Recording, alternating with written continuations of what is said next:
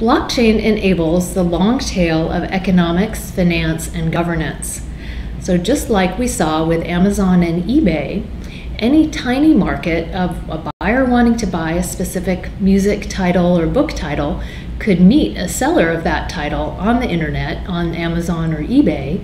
Similarly, we can now rethink economics and governance in, in long tail applications involving blockchain. So, what this might mean is that, for example, I don't want a standard 30 year mortgage. I want a mortgage more structured in line with the events in my life.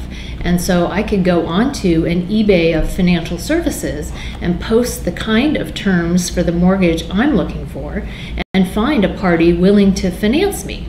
Again, there'll be algorithmic escrow methods to to assure the certainty of the financial transaction.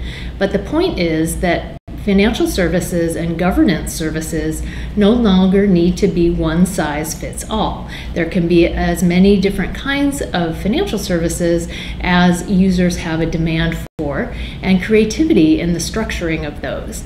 Also, there no longer need to be banks or other financial services institutions in the middle as intermediaries taking a chunk of the transaction fees, but rather the network can enforce the, tr- the trust and enforce the contract terms of the agreements. So, this is a huge step forward in modernization in allowing long tail economic and governance services with blockchain technologies.